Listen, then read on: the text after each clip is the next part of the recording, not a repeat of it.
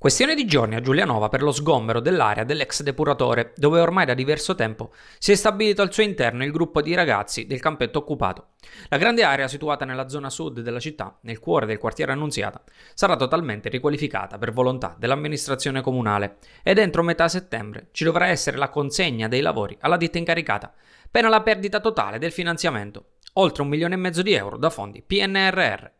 Sarà il secondo sgombero in cui sono protagonisti i ragazzi del campetto occupato, il primo circa tre anni fa, in pieno centro storico, con il campo di Viale dello Splendore. Ora l'idea dell'ente è quella di riqualificare il grande spazio attorno all'ex depuratore, in una zona cresciuta a livello di presenze negli ultimi anni. Ma le polemiche ovviamente non mancano, perché chi è all'interno non ha intenzione minimamente di lasciare quegli spazi, contando che ci sono al momento 5 unità abitative. Fare un nuovo sgombero vuol dire buttare per strada le persone, vuol dire militarizzare un quartiere e vuol dire fare tutto ciò non sapendo cosa si va a creare in quello spazio lì, come anche tutta la città ricorda al vecchio campetto.